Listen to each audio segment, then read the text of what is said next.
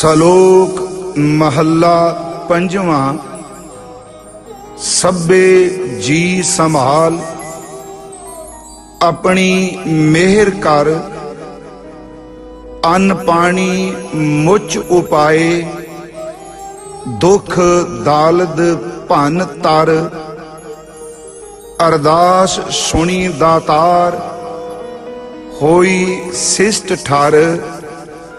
ਲੇਵਹੁ ਕੰਠ ਲਗਾਏ, ਅਪਦਾ ਸਭ ਹਰ ਨਾਨਕ ਨਾਮ ਧਿਆਏ, ਪ੍ਰਭ ਕਾ ਸਫਲ ਘਰ। ਲੇਵਹੁ ਕੰਠ ਲਗਾਏ, ਅਪਦਾ ਸਭ ਹਰ ਨਾਨਕ ਨਾਮ ਧਿਆਏ, ਪ੍ਰਭ ਕਾ ਸਫਲ ਘਰ।